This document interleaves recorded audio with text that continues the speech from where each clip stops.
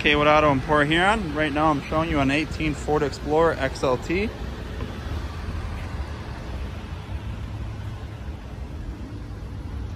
Uh, according to Carfax, it has no accidents or any damage reported. It's going to be four-wheel drive.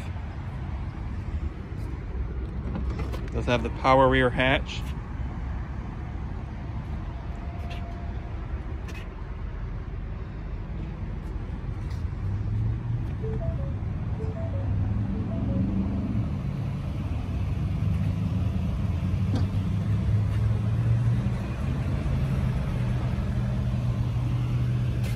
Does have a little over 54,000 miles on it. The driver's seat here is going to be power, leather trim. Here's where you can pick the terrain.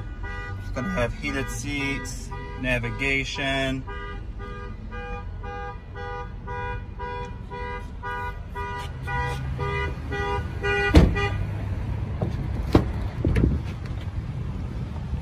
Has the rear captain's chairs here.